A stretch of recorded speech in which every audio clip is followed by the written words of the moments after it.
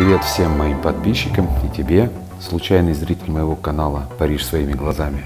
Это видео про то, когда ты планируешь одно, но есть силы, в данном случае силы природы, а конкретно ветер, который полностью меняет твои планы.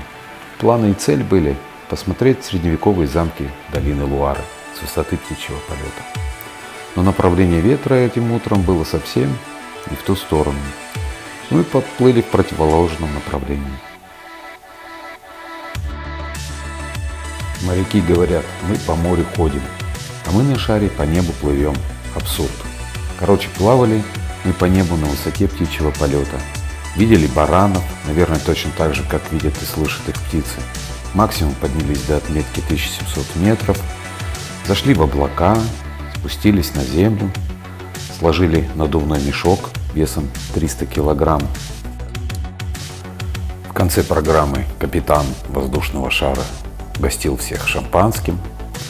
Мы получили максимум удовольствия от проведенного времени, а также сертификаты от пилота. Вкратце как-то так. Непременно подписывайтесь на мой канал, ставьте лайки, оставляйте комменты. Короче, смотрите сами. Всем добра. Да, кстати, с последнего видео на мой канал подписалось еще аж 5 человек. Все, до встречи.